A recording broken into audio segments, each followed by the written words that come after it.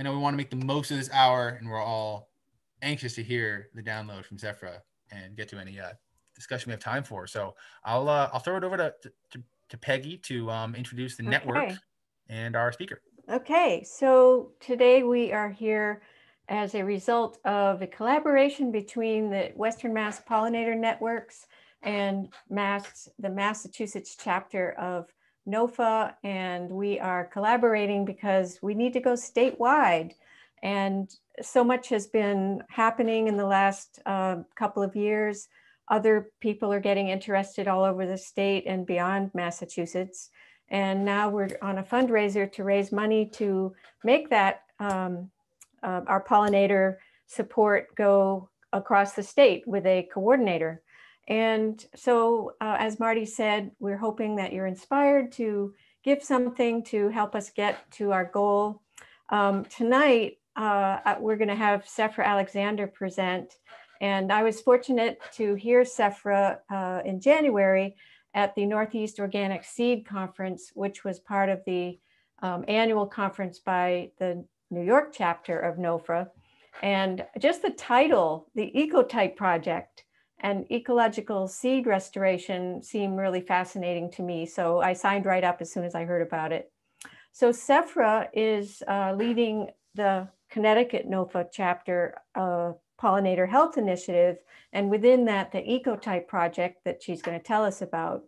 She holds her ma teaching master's in agroecological education None of these subjects were around when I went to college, but thank goodness they're around now. And she graduated from Cornell. She's trained in the tradition of seed saving by the Rocky Mountain Seed Alliance. And I might say this is something that's really, really important as we read articles about biodiversity shrinking around the planet. Her other title is The Seed Huntress. To me, a quite intriguing title and again, much needed in this time of threatened biodiversity. So Seed Huntress, take it away. And as you have questions, you might put them in the chat and we'll be taking questions towards uh, at the end of her talk. Well, thanks Peggy and Marty and everyone at NOFA Mass and in um, your new network. It is such a pleasure to see all the enthusiasm and all of the organizations joining together around pollinator health that is what it's all about. And um, I'm honored to be here and talking to you all tonight. I do acknowledge that I'm talking to you from Connecticut, which is an Algonquin word that means the long tidal river. And we will be talking about riparian corridors and the Northeast specifically. But before we go into that, I wanted to give you a brief overview of what seed conservation and seed banking in its different iterations looks like on an international and national scale. So, first off, as was mentioned, um, I go by the seed huntress, which I respectfully use as a way. I sometimes I think ethnobotany and botany needs a little marketing these days to get people excited about it. So um, it's really just a respectful term that I use in an effort to um, hunt for different ways around the world to help conserve these wild, native, indigenous, local ecotypic seeds where they exist and help the people that are there to caretake and steward them. So um, I was grateful when Forbes featured it. It shows that this, uh, the importance of preserving biodiversity on a global scale is becoming a more um, acceptable, approachable, and talked about theme amongst the Vox Populi, amongst people around the world. And um, it was really a privilege to um, be chosen as a fellow for the Crop Trust. So the Crop Trust, um, perhaps some of you have heard about the Svalbard Global Seed Vault. Um, some people call it the Doomsday Vault and so forth. But what it is, is it's up in Longyearbyen, farthest north you can get, or, or there's an airport too. Um, and there's this vault there, which each of, uh, I think is 100 and I, I, don't know what the exact numbers at, but um, 123 countries have submitted their seeds to be safeguarded in this vault. So, in terms of man made or natural disasters, if they ever needed to re access those genetics, which have been adapting to wherever they're from since time immemorial, um, whether it's hot, dry, cool, cold. You can think of all the different variations of terroir or soil conditions around the world. And it's imperative to save these genetics in those types of situations. For example, Syria, um, their seed bank was bombed. And if it had, they didn't have a backup here in Svalbard, so many of those ancient grains and those, those beautiful crops that they have over there would have been lost. And um, so I was chosen as a fellow to go uh, do field work and explain the importance of these seed banks. Now, when you have seeds stored like this away from where they are located in their soil, that's called ex situ, E X S I T U, two words. Um, conservation. And as you can see here, the way it's decided where those seed banks around the world is based on something called centers of origin. Now, Nikolai Vavilov was um, in the uh, early 1900s was going on botanical expeditions around around the world and saying we need to start safeguarding these seeds because they're super important for um, breeding projects and also for making sure that we don't lose these magnificent arcs of diversity that exist around the world. And what he observed was where these crop wild relatives, um, the teosinte for corn, for example, or the tepary bean, where they first emerge is where these crops, sorry, that's my dog shaking my computer, um, is where they express their greatest amounts of diversity. So you have your corn and wheat in Mexico, you have your pulses and grains um, in India, your potatoes in Peru, and you can start to see the world map as where these cultivated crops uh, now grow and then are saved. So um, this is a quick map of where those seed banks exist around the world. You have this the the seed bank for agroforestry trees in Kenya, and I went to CePaCT, which is the Center for Pacific Crops and Trees in Fiji, and so I did my field work all around the South Pacific, studying taro. Now, Colocasia esculenta is a staple food crop that has that that big um, tuber like uh, rhizome, which is basically uh, a staple food crop for much, much of the subsistence farming nations. The entire plant is edible. It's a totem crop, ethnobotanically speaking, because it's so important to their culture. It's given in rituals of birth and um, marriage and death and so forth. In 1993, a blight came in and wiped everything out. Um, and that completely altered their export their their their which is their main export so their economy their culture and their main food source for food security. So my work was showing the breeding efforts that were done to rebreed a blight resistant taro and why having that safeguarded in a seed bank was so important. Um, sorry to go back and forth on slides but if you see those little vials up in the right hand corner those are those taro in vitro. Because oftentimes when we think of seed banking seeds like the ones down below those are orthodox seeds like your tomatoes and your peppers the seeds that you can fully desiccate or dry out and they can maintain their viability but a lot of the tropical plants are recalcitrant, which means you have to keep vegetative propagules or these little plantlets um, in a growing medium to maintain their viability. And so that's how you can maintain those genetics. So that was a wonderful project. Um, my brother and I, um, from a natural disaster perspective, have responded to a whole bunch of um, island nations after disasters and helped fortify their community seed banks. Now, a community seed bank is a backup of your bioregionally adapted seed. Let's say this was in Haiti. And when a storm wipes out all your fields, there's no seed bank or seed companies or really people to go back and resupply. And your main backup is usually stored under your bed. And in times of emergency, you're eating your backup seed. So what happens is USAID and other well intentioned organizations fly in with North Carolina grown rice, which is called Miami rice. What happens then is the, the citizens of Haiti are relying on that free rice, which undercuts the agroeconomic system up north, um, where they still might have rice growing and introduces non-viable seed and pests. So when you have a community seed bank that provides a resource for self-facilitated, um, regenerative basically being resiliency, seed sovereignty, food security, all those important things. So we worked with this wonderful agronomist to fortify a community seed bank. Um, now, and uh, so now we've gone internationally to a disaster zone and now we go nationally. So there's a program called the Seeds of Success that's run out of the Bureau of Land Management. And in the um, early 2000, the Millennium Seed Bank, which is a seed bank at Kew Gardens, um, said, you know, Svalbard, the global seed vault, is uh, a backup of all of our cultivated crops. But what about all of our wild crops? All of these really fragile native species. This is me scouting for Primula alcalina, this beautiful um, white flower that goes along bubbling brooks in Idaho.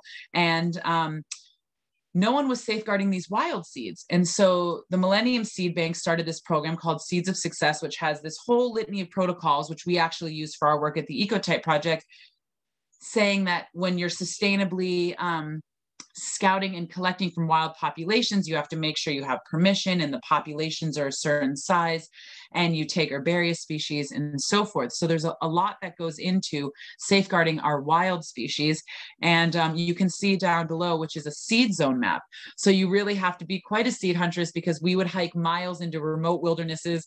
Um, I think my dad's on the call and I was going in looking for the Draba hitchcockii, which grows on these rock escarpment outcrops in the greatest rattlesnake territory in the country. And we were duct taping cardboard around our legs. And when my dad heard about that, he kindly sent me out good snake gators to Idaho. But you really start to feel the personality of these different plants, the primula versus the draba, and, and the ecosystems that they grow in. And you realize that there are such fragile ecotones from where a, a, an ancient clay vein drips down is where one rare species, and then just a couple inches over that species habitat, um, it, it, it no longer exists. So you can see how fragile it is protecting these species. So now we finally come back. Let's go regionally. So in the Northeast.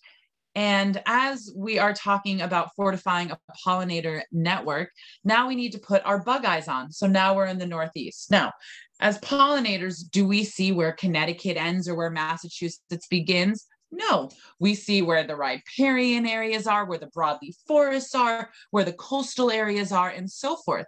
So, a wonderful gentleman named James Omernik at the EPA, he said, all of these people, we need to be working off of a similar framework because the ornithologists were referencing one map and the forestry folks were referencing another one, hydrologists and geologists.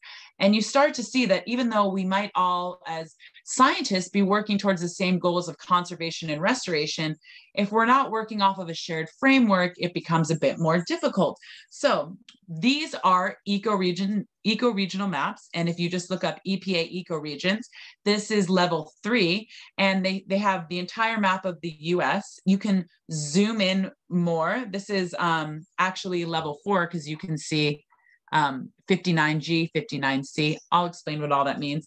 But basically, um, what we're looking at is a broad stroke kind of artistic mosaic of saying this this area 59 this is the genetics within those habitat and community mosaics. We can know that if we collect the native seed from that area um, so i'm in ecoregion 59 part of massachusetts also is as well that you know if you're proliferating it anywhere along that ecological corridor of 59, you know you're putting the right plants in the right place. So again, um, honoring where I was born and raised, this was the traditional ter- territory of the Paugussett tribe, which means the mouth of the river. Because as we've seen, the Connecticut River, which starts in the Canadian um, border and goes all the way to Long Island Sound, was an extremely imperative causeway, not only for seeds um, being dispersed by all the different auguries, these very fun words, hydrochory by water, anemochory by wind, if you think about um, dandelion pappuses and so forth. But this is where all of these seeds and the estuaries of where the fish nurseries were and the chestnut trees, and there was such abundance of life here that it was really just um, a prolific uh, foodways, the traditional foodways of the area. So now we come to the ecotype project. How can we make sure that we are regenerating our living seed banks? So we saw the other versions of seed banks before. Now we move to in situ, IN space SITU, which means in place conservation, because ultimately this is the best of the best. This is what we want. These are these seeds adapting to the changing climates, to the beneficial insects, to the pests, to all the variations that are going on around them, really bioregionally or now eco-regionally adapting to their terroir. And when you do that, you can see that um, this is your gorgeous um, Joe Pye weed and the Vernonia, the, the New York ironweed here um, at the Hickories Organic Farm in Ridgefield, Connecticut. Um, these are our founder plots, which I'll explain in a bit, but you can see just how gorgeous these seeds are. And once they're back in our living seed banks, our soils, then the natural ockeries, again, the wind blows it, anemochory, myrmecory, the dispersal of seeds by ants. If you haven't looked into myrmecology, the sociological structuring of ants, fascinating. Thank you, Mr. E.O. Wilson.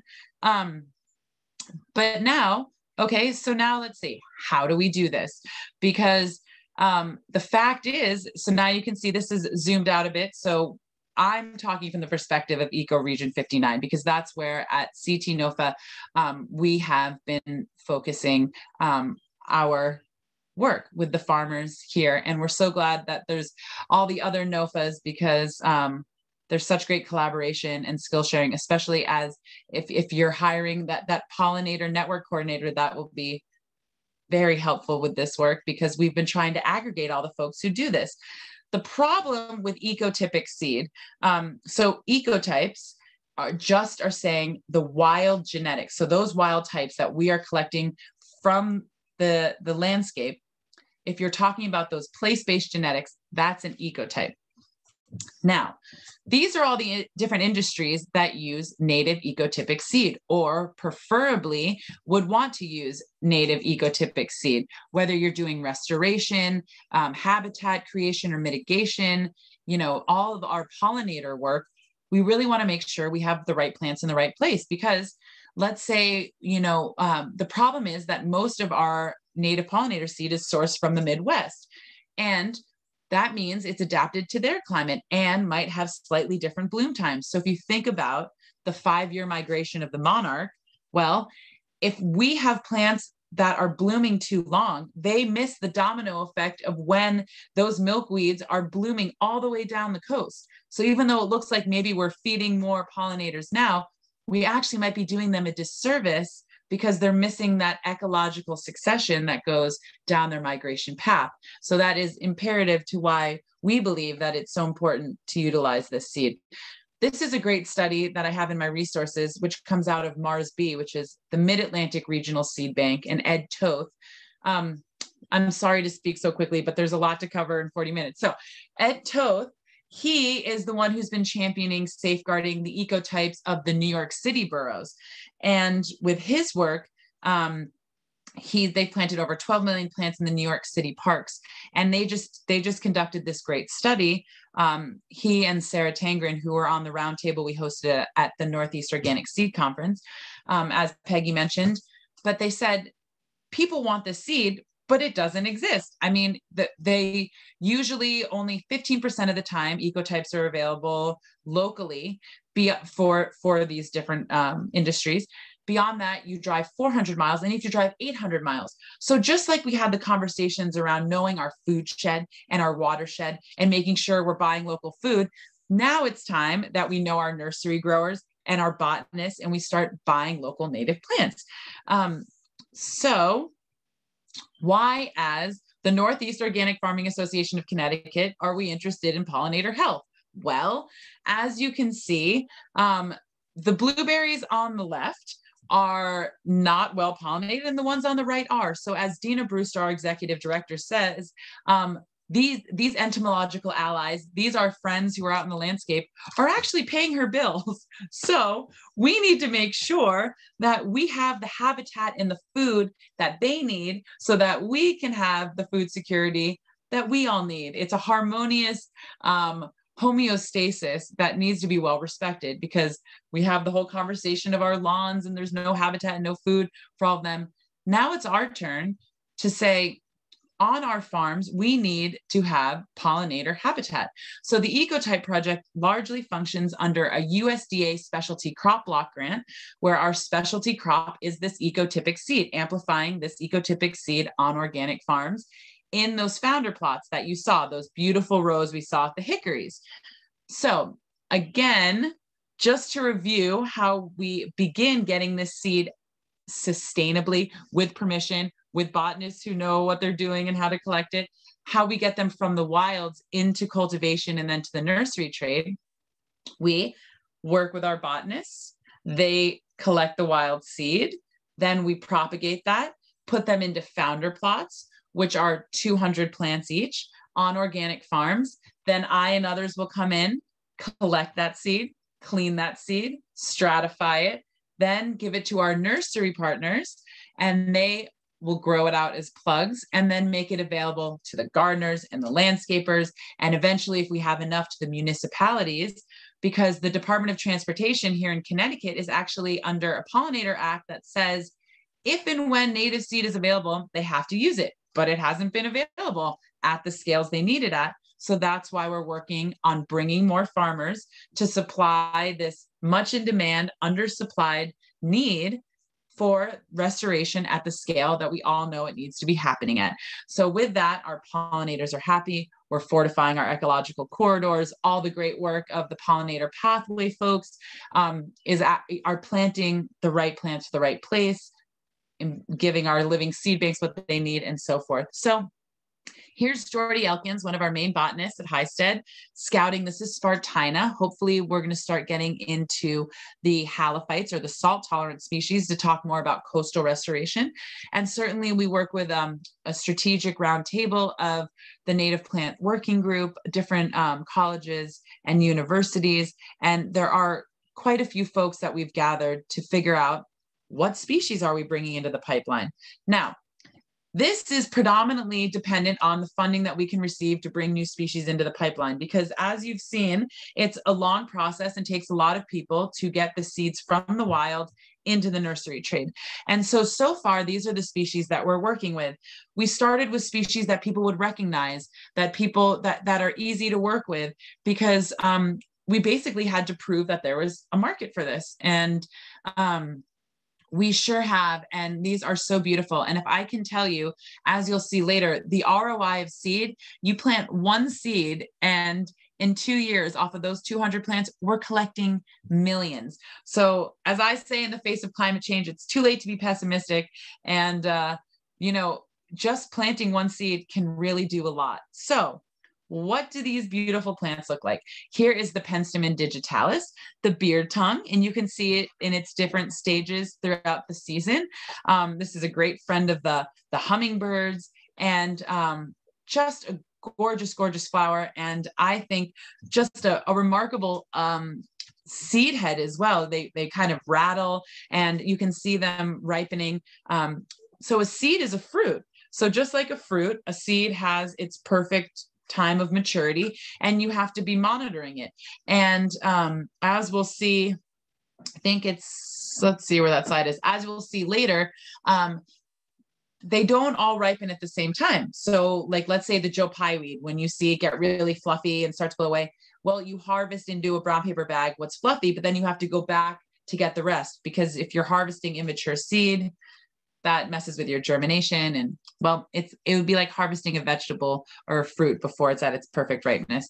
Um, so again um, these are the different partners we work with for the founders plots. And um, i think we've gone over all of this as we rewild our landscapes and uh, allow these you know we reduce fragmentation with having these on our farms in our backyards everywhere. Everywhere that we can plant these habitats is important in that concept of rewilding because um, as our wild areas get more separated, we're not just homeowners, but we're land stewards and need to think of our yard as part of that citizen science. So, in an effort to make sure that we're taking care of our pollinators throughout the seasons, um, we make sure that we have uh, we were still working on the early spring ephemerals. Like we're th- those we don't have as much as we need in our pipeline. We're working on all of them actually to make sure that we can cover the different habitats, high and dry, wet, shady, everything you can think of, but also that they bloom through um, from you know early spring to late fall, all throughout the year. Um, I heard this wonderful woman from the south talk, and she said. Um, it's like y'all if you invite house guests o- house guests over for a week and only feed them on monday. She said if you have to make sure that we have food for them throughout the season. And as we've seen um, and also with the different trophic layers. So that picture in the center, we think about perennial polycultures or the patterns of our natural wild forests, you can see that there's the ground covers and the shrubs and the trees and different pollinators and insects and creatures need those different trophic layers for their habitats. So we wanna make sure we incorporate that in our landscape. And as we've had these founders plots, it is just like a wild safari out there. Now, entomology is not my background, but I am sure learning. And it is just extraordinary to see diversity brings diversity. And if you're having problems on your farm, the more diversity you have, again, works for that homeostasis because it's like lack and larder. You might have a lot of aphids and such, but then you're just missing whatever their predator is. So as we build this in, we see that the landscape is taking care of itself. And so we have different pollinators that visit our plants throughout the season and even throughout the day. So Jean Linville and Abby Cartson, who are the farmers at the Hickories for their founder plots, they said, you know, we're not seeing the pollinators on the Rudbeckia hirta. Like, where are they? We don't get it. So one night they put on their red headlamp and start and went out at night. And lo and behold, there were the moths and all these other pollinators were out at night. And so if you think about it, holy moly, right? I, you don't have to go to Africa to go on safari. You can go in your backyard. And um, they they then did that. Uh, I don't know, maybe tw- like once a week for the rest of the season, and they were amazed at what they saw. So um, you can see the wild bergamot down in in the that's the Monarda fistulosa. Just beautiful species. So again, here is that um, that Joe Pye weed, as I was saying. So you can see it's different um, uh, phenology and morphology here. And you can see that uh, it, as it's ripening, so the picture all the way on the bottom, I think you've let your seed, you've let your seed go a little bit too long. But um, up in the top, or sorry, the second to last photo, that's about where you want to harvest it at. So um, that is when I would take my bag and start shaking those seeds off. So in an effort to bring more farmers or just anyone into the ecotype project well these aren't exactly quite as easy as planting the annuals that maybe a lot of us are used to. So for farmers or for homeowners we wanted to make a getting started toolkit. How do we plant these how do we plant these plants? How do i stratify a seed? Um, what spacing does it need? What beneficial insects like them? All of these different questions we answered in these really cute 8 by 11 cards and we have these black tin boxes um, like those like the old school um, seed boxes and um, we've made all of these cards that i'm going to show you which are free pdfs at the bottom of our website uh, ctnofa.org slash ecotype project which I'm sure we'll put in the chat. Um, and you can see that what we've done is we have our general growing protocols, our multi-year overview protocols, our general seed saving protocols. And these are a living document because um, we've been talking to all the experts in the area. Certainly, you have Native Plant Trust, an amazing resource in Massachusetts and Nasami Farms. And we've talked to their propagators and heads of horticulture. And um, hopefully, we're building a working group and a collaboration to really create um, uh, a really vital resource for those of us in the Northeast, because in other areas of the country, in the Midwest and out in Oregon, which is like the the great seed Wild West, where um, you know they've been doing all this type of work and restoration forever. They have to grow um, these types of seeds out on huge scales to do restoration after fires and such. But here in the Northeast, we're missing a bit of the supply chain from, you know, big seed extractories that can clean our seed to storage facilities and so forth. So we're really trying to fortify an ecotypic native seed production network, and hopefully these cards will help. Um, so there's the beautiful ironweed going to seed. Um, just just wonderful to work with these plants. And then you can see that those little grids give you an idea because you often really have to investigate when you're taking chaff away from seed, like, is that the seed or is that the seed? Or I don't know, I need a, you know, you, you really have to look under with a, a magnifying glass sometimes to, to make sure you're gathering the right things in the beginning.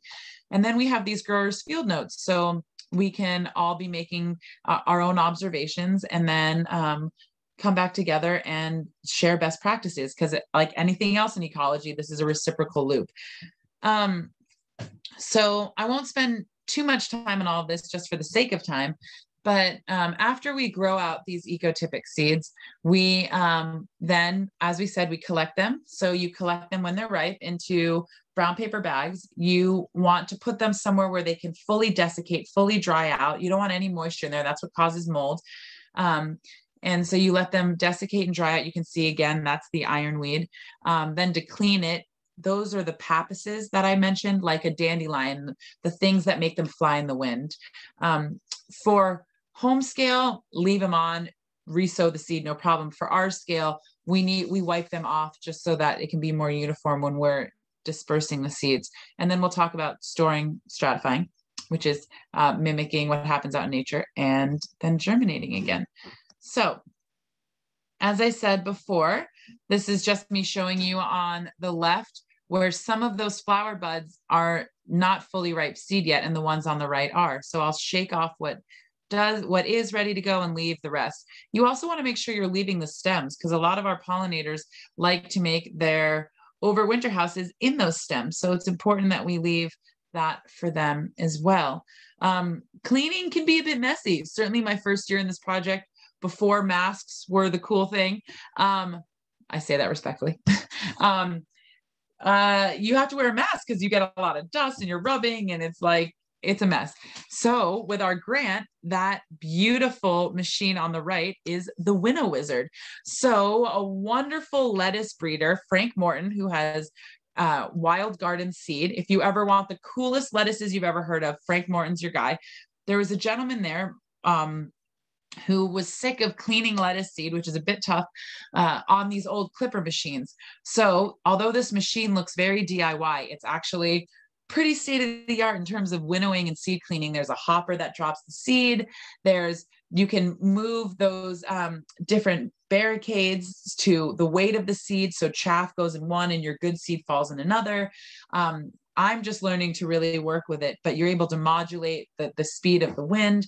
And hopefully, this will help with the pollinator network that you're creating. And certainly amongst the NOFAs, having a shared resource um, that can be used to clean seed and make this more readily available at uh, a large at a larger scale. Um, there is uh, Heron Breen, who's in Westport, Mass. He also has one of these machines. He has um, the Freed. He run helps run the Freed Seed um, initiative. So here we are. Here are our ecotypic organic ecoregion 59 seed. So maybe we just, you know, we like take a breath of gratitude and appreciation because if you think about it, these seeds represent all the ancestors that have come before us and for all of those that shall come after us and all of our entomological partners and the botanists and the farmers and so much goes into this that you really stop and have reverence for this seed. You know my my great mentor bill McDorman from the rocky mountain seed alliance he holds up his his his cell phone in a seed and he says which one of these has greater technology?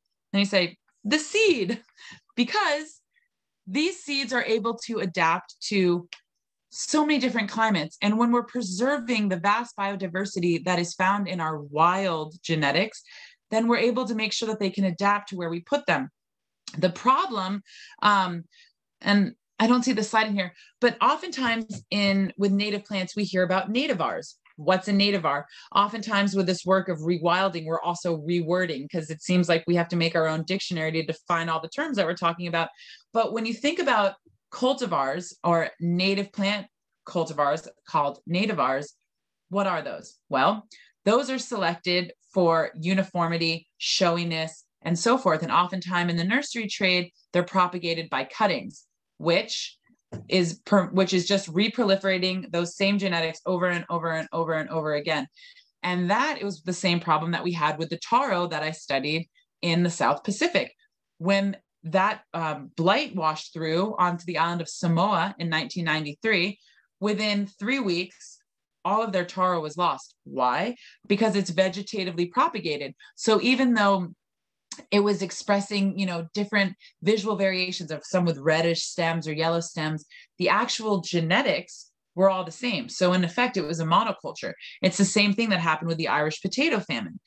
So the only way to safeguard our wild landscapes and our cultivated food crops is by making sure we have the greatest arcs of diversity possible on our landscapes because that allows us to have the most adaptability to whichever way the climate shifts cool dry warmer nature knows and they've built in wisdom beyond any of us can comprehend into the variation that goes into these seeds. So it's it's very important that we help to proliferate throughout the landscape. So the the the adage to remember with seed saving is um, when you're storing it is always cool, dark, and dry. So we want to make sure we keep our seeds cool, dark, and dry. And on the home scale, don't worry about how cool. You just want it to be somewhere where the sun's not hitting it and the temperature isn't fluctuating. So just place it as constant temperature because the seeds start to get confused. Like, am I supposed to wake up now? Because remember, they're hibernating magic little embryos. So we have to make sure that um, that we keep them at that constant so they know like, up, oh, still time to be in the tun state, still time to be sleeping. Um, but then if we want our native seed to germinate, well, what happens to our native seed on the landscape? as we're all coming into spring now, we know that when the seeds fall to the ground, we get the snow and the freeze and the rain and the thaw and the frost and the, all of these things. And so these seeds are um, adapted to have that type of a situation, climactic situation, um, cause their germination. So that's called stratification when our uh, a cold moist stratification is when we're mimicking that that cold period that a lot of these native seeds need to go through to be able to germinate. Now, again, those cards will help you because some like the Monarda don't necessarily, that which is the bergamot, don't necessarily need cold moist stratification, but would benefit from it. So again, there is a bit of nuance working with these species, but basically what you're doing is you're taking your seeds, you're taking a moist, not wet, um, coffee filter works even better than a paper towel because sometimes the seeds stick to the paper towel you're putting it in a Ziploc and you're labeling what it is and the date that you put it in. And oftentimes they require a 60 or 90 day stratification. So now we're getting on the farther end of when we'd be able to plant them or get them going for spring planting. But fall is actually your best, one of your best bets for planting native plants. Um, and also, as Heather McCargo, uh, who is an extraordinary resource. She has the Wild Seed Project up in Maine, and she's been doing this ecotypic work um, with a little bit of a different focus, just making sure that these habitats are proliferated everywhere, whereas we're the farm amplification focus. But she has um, an, a, a yearly publication from the Wild Seed Project, which is the most gorgeous you could cry, like I did when I first saw the ecoregion map. Um, publication that that shows you how to do all these things that maybe me speaking at a million miles an hour seem complicated but really they're kind of intuitive so this is how you winter sow seeds and um, basically you just put them out somewhere in nature and let nature do its trick the only thing you have to do is cover it to make sure rodents don't eat it but you can put it out in a pot right after you harvest it put something over it and just let it be and when they're ready they'll start germinating so um, certainly check out the Wild Seed Project. And they now have this new pledge to rewild. And uh, once you sign up, you get some really cool newsletters and tips how you can do that in your own backyard. Um, so again, we want to make sure that these plants are getting to our end users, to the pollinator pathways, to the land trusts, to the homeowners, municipalities, conservation organizations, restoration, as was shown in that bar graph of who wants this seed. It's really limitless. So for any of you farmers out there who are in ecoregion 59 and want to start a founder plot please reach out to me because i have seed for you and we would love to have you start growing these ecotypes um, there are plant sales uh, right now they are the ones that i know of are um, based down in connecticut so the aspetuck land trust has a great uh, plant sale and um, I, I, think most of you are in Massachusetts, so I'll I'll save you from that. But I know um, the people the, the, the folks facilitating this um, may have some suggestions of more local plant sales where, where these are available. But really, what our effort is with promoting our logo we're not trying to recreate the wheel. We're trying to bring everyone together. So we're trying to say um, it takes that huge ecology. Uh, everyone's welcome at this table. The farmers the scientists the botanists we all have a role to play the homeowners. Um, and we want this brand to be this socially conscious brand so that when you go to your nurseries, you can start asking for native ecotypes. And this can be recognizable to know that when these are implemented on your landscape, that you really know the provenance of, of your native plants and species. And this isn't to vilify anyone who has beautiful pollinator gardens that you got from somewhere else. That's great. We need all we can get. But now, just as we're elevating the conversation, this is kind of the next the next phase that we move into, saying um, there's been a lot of research and study that that these really are our greatest allies in doing this ecological restoration work. Um, in an effort, again, as the seed huntress, to help bring some fun and brevity to all of this great work, uh, I started the inaugural botanical expedition last September. So I say I'm not a botanist, I'm a botanist. And um, I am honored to be a flag carrier for Wings WorldQuest, which is an amazing organization that supports women in science. And um, just, and I'm also a member of the Explorers Club, which is the, you know, the hallowed halls of where Ernest Shackleton would come present to. But for me, I kind of do the the fan off thing when I think about going on expedition. That's that's really what I love to do. And certainly being on the water with native plants is like the best of all worlds. So what I did is nine fellow um, botanical expeditioners and I, we took five canoes, 500 native plants, and paddled 87 miles down the Connecticut River. You can see the traditional spelling of Connecticut, which again means the long tidal river. And what we did is uh, we started at the John Ledyard Canoe Club, which is at Dartmouth, which, well, that's a whole nother story, but he was of the first class, made a dugout canoe, paddled to his uncle's, hitchhiked on a steamship, went on James Cook's expedition, died crossing the Siberian taiga. Interesting, great, cool, very cool story.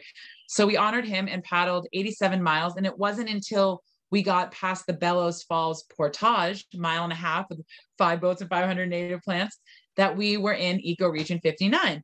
So, in an effort to promote putting the right plants in the right place, we didn't start planting our pollinator gardens until we were actually in Eco Region 59 so as we paddled for the pollinators we worked with some remote campsites and also a beautiful farm um, once we were in vermont of planting these back in our living seed banks because again once they're there the ockeries anemochory um, dispersal by wind hydrochory dispersal by water and anthropochory dispersal by humans so we need to work with nature, not against it. We're a part of it. And we have such an amazing role to play as caretakers and stewards in our own backyards.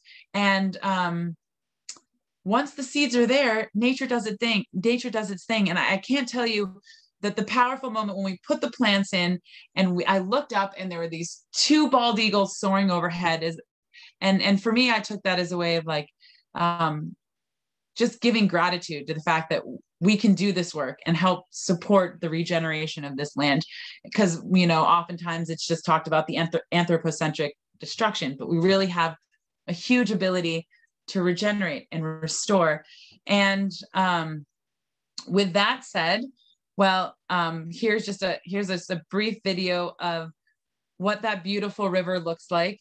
And uh, i just encourage all of you there there's you know here in the northeast there's such beauty and such magnificent wilderness around us. And if we can all just carry some seeds with us where we go we can really help do some amazing work again just 200 plants create millions so there's one of the pollinator gardens on the left with some of our fellow expeditioners and um, my dad got me a really awesome paddle. It says the seed huntress he met partway on the river. That was pretty much greatest present ever. Thanks, Dad.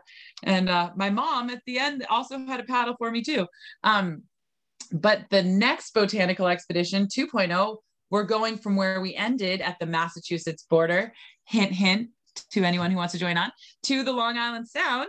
And I'm working on getting us gig boats. So, gig boats are those like six person rowboats that they used to use in the 1700s to bring captains back out to their ships.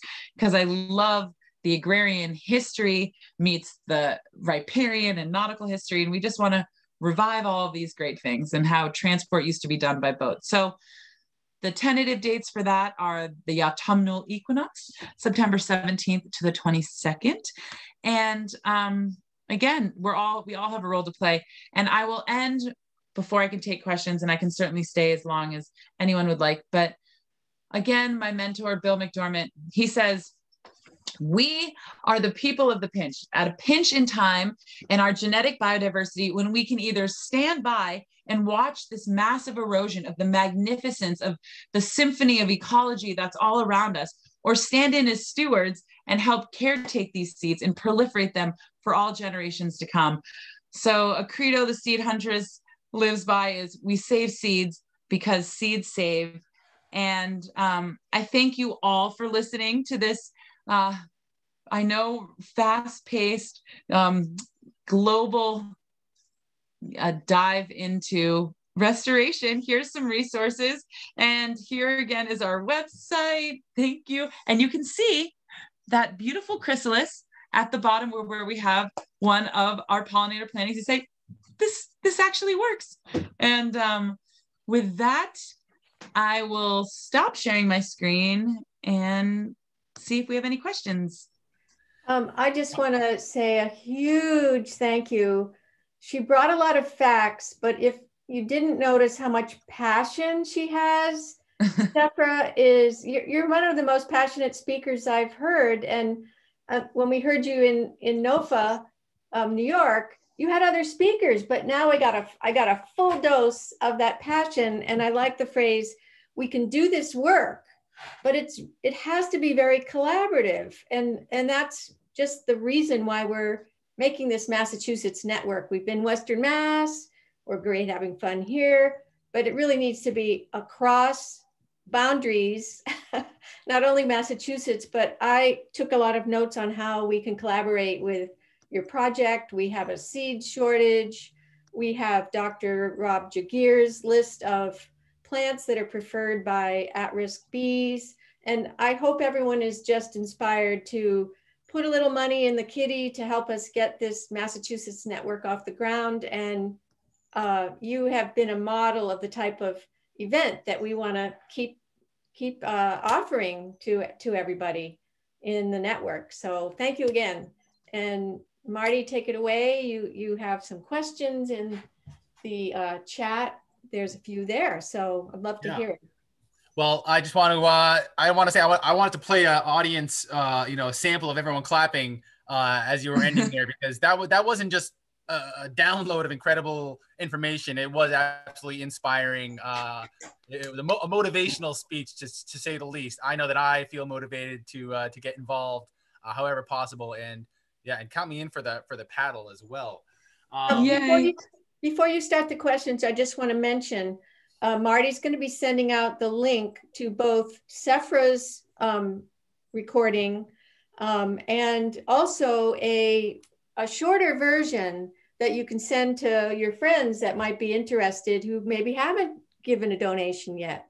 We're inspiring people to donate in order to get the recordings. And believe it or not, there have been quite a few donations um, to do that. So uh, we'll have something for you to send to your friends. And then you, of course, can have access to um, the recording if you've been a donor.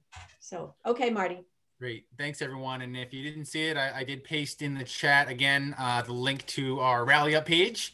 Um, but yeah, thank you, everyone, for the questions throughout. We have a few good ones here. Uh, first, one that I, I know I was thinking as soon as I looked at that map, and um, we need to geek out about bioregional maps at some point in the future. Um, yeah.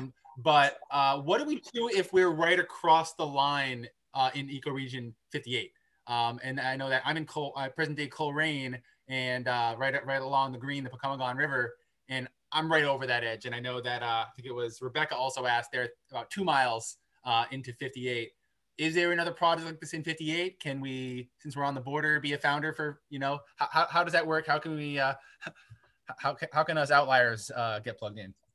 It's a great question. And that's honestly what our project is looking to find all all of the folks and the seed keepers that have that for each of the different ecoregions so hopefully this will be a model at 59 that can be re- replicated throughout these the best resource is i know for 58 i, I believe um, that the native plant trust um, which is in massachusetts would have 58 ecotypes and i but there that's not read i think they just do a plant sale to the public once or twice a year. Maybe you all know better than I do. In terms of the seed that we have, will who we're giving our founder plot seed to, we want to make sure that that stays within ecoregion 59 just for amplification purposes but we don't want to deter anyone who's excited about doing this work. Again we don't want you know perfect to the be en- to be the enemy of good. If, if you're just putting in a restoration habitat or a pollinator habitat on at your home i would say that those genetics would work great if you're if you're right there on that border. But in terms of founder plots that's really why we're reaching out to native plant trust and other people to see. We want to make sure that we're really help proliferating those different ecotypes where they are. So perhaps um, when you're all forming a network and there's and i know that you're hiring for that position uh, a great project would be for them to help source ecotypic 58 seed and then i could help liaise in terms of how we then take it from that to founder plots to the nurseries and so forth. Love it. Oh that's great.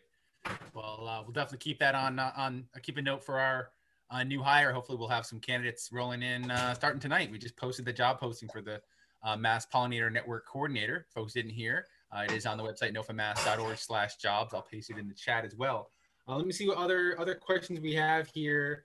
Um, yeah, do, does the project teach uh, partner growers how to clean seeds and and and and are there like what does the educational programming look like? If someone wants to get on, are there are there regular workshops? Is there are there toolkit? What is the for, for those who might be um, you know, apprehensive of, of diving in? What does that process look like? Great question. Um, so that beautiful Winnow Wizard that you showed, uh, obviously with this pandemic that we find ourselves in, um, we will have times when the Winnow Wizard is open to the farmers to be able to kind of rent it out and utilize it. It's definitely meant to be a shared resource. We also will, um, we have a bunch of you know, educational workshops. So if you uh, hopefully we'll be able to do one explaining the Winnow Wizard and some seed cleaning over Zoom as part of the Ecotype Project's educational outreach that we're doing um, it later in the fall when it's seed cleaning time again. But uh, certainly it is our intention to open that up and have a few seed cleaning and demo days. You know, usually at the summer conference, for example, right, where all the NOFAs would be joined together, we would bring it there. And then so everyone could use it or clean their seed or do things like that. So that uh, that definitely is a great resource. In terms of seed cleaning, you really can do quite a bit with just even from the dollar store, every size sieve you can find. And you can kind of just play around with it until you're sifting through and you're getting some clean seed or um, practicing just basic winnow techniques. If you're just working with a small lot of seeds, there's there's some great resources even on the internet that you can search and do that from. For our purposes, when that first year you saw the picture of me trying to clean the Joe Pye weed and there's dust everywhere. For this year, we partnered with the folks at the Mid Atlantic Regional Seed Bank who have industrial size seed cleaning equipment. So what what took me two months last year took 20 minutes. so um as as you know they have these machines that brush off all the pappus's where i'm like rubbing by hand in my mom's living room um so yeah so seed cleaning is really fun and we do hope to definitely have some some workshops to help teach that a bit more Fantastic. And uh, we did have a request for the list of references uh, that were the uh, at the end. Uh, certainly be able to uh, send that out in the, in the uh, email if Seth, if you want to email that to me or and or Peggy, we can be sure to include that. We had a request for that. And we had a question. I can see if I can copy and paste it real quick. Oh, sorry. Great. Um, we also had a question just practically about like what do you do about deer browse damage and other other? Is it just a matter of planting enough to share? I, I imagine, or or how, how do we um, deal Um, with that aspect? So at the Hickories, those founder plots are in a fenced in area. Ah. And um, other farms that we work with, um, there, there's some of these plants like we found that, you know, the yarrow, for example, seemed to do just fine in an open area that that didn't get browsed too badly. Certainly some of them are more attractive than others. But um, if you have a, fen- a, a ability to fence off just during the establishment phase, that that'll help out a lot. But um, but it definitely is one, one of the fun challenges.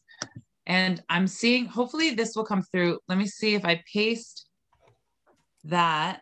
If,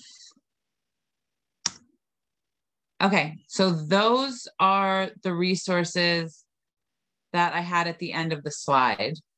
So that's a link to where you can find the eco-regional maps, that great study that I referenced that had those bar graphs on it. Um, some really interesting reading on native seeds and ecological restoration um, and my email. Um, and for any of you who want to come paddle, as soon as we actually just stay in touch, we'll, we'll post it on the Ecotype Project website. But as soon as we know where we're going to be when, if you just want to join us for the day or whenever we're coming through your part of Massachusetts, please hop on the river. Um, and we'd love to have the the botanical expedition support this network any way it can and help have that shared conversation and hopefully get some marketing and some fun around this so people understand the importance of proliferating these pollinator gardens along riparian corridors all over. Fantastic. Well, it does. That does sound like fun, and I already have it in my calendar. Um, I, I, hope I hope uh, others will uh, check that out as well. And um, we, we have the websites here. Um, yeah, there's just there's so much to connect on. I'm really really grateful to you, Sefra, for for bringing this project um, uh, to the world and to us. Uh, and uh, really, it seems like there's a lot of great synergy with um, what we're trying to do with the Massachusetts Pollinator Network and with the Ecotype project. That uh, be certain to uh, whoever takes over as the network coordinator, uh, we will uh, be sure they watch this video if, if, they're not already here watching it already. Um, I'm, I'm glad we have this recorded. Uh, I know I'll be watching it again. And uh, like Peggy said, we'll also be sharing like a 15 or 20 minute uh, preview uh, that folks can share with their Facebook groups, friends, anything to let them know this is what we're trying to do with the Mass Pollinator Network. We need to raise this money in order to hire the coordinator so we can have ongoing educational programming, mentorship, peer-to-peer, uh, and the ability to scale out efforts statewide to uh, protect pollinators and build up this habitat. So if you haven't gotten a chance to donate yet, uh, you can do that on the link I'll paste in again uh, on our Rally Up page, or you can visit masspollinatornetwork.org. Um, this is the, the last in the March speaker series, but we will certainly be uh, putting more together uh, as a network launches. I just want to thank everyone again uh, for coming out this evening, and thank you everyone for uh, everyone who's watching this uh, at a later date. Um, I look forward to connecting with you all, and I'll pass back to Peggy if you had any, any anything. Can I to- just can I just add one more thing, Marty, real quick? Um. I just want to echo what you said. This work is certainly my passion, but it really does take money to make it happen. Um, that's not just a shameless plea for this, but but this is literally the most important work I believe that we can all be doing. And um, from sourcing the seed to supporting the installation, uh, there is cost associated with all of this. And so I think it's really great that you all are raising money from your network because I know every dime of that i'm sure will go to its highest good in in helping to achieve these objectives on a northeastern scale. So uh, i wish you all the best of luck and i'll certainly spread the word from my end. And uh, to all of you out there in the zoom apocalypse here thank you for taking the time to listen to this and we hope you stay involved with the ecotype project too and hope to see you on the river